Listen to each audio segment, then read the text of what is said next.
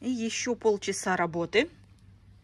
Всех разобрала, оторвала, расковыряла и вот так разделила.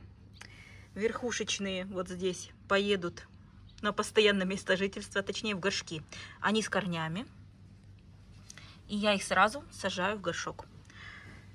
А эти со слабыми корнями, либо совсем с отсутствующими, как вот эти вот зародыши. И поэтому их я ставлю в водичку на доукоренение.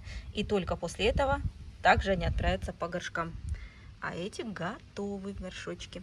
Вот такая у нас красота. Детки ананасиков.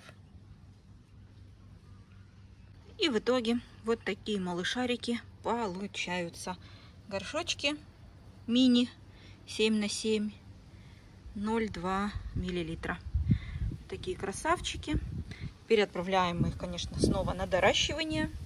Корешков там сейчас мало, как мы видели, поэтому будут подрастать. И только после того, как а, корни оплетут весь ком земляной, после этого они поступят, естественно, в продажу. Такие классные малыши ананасиков.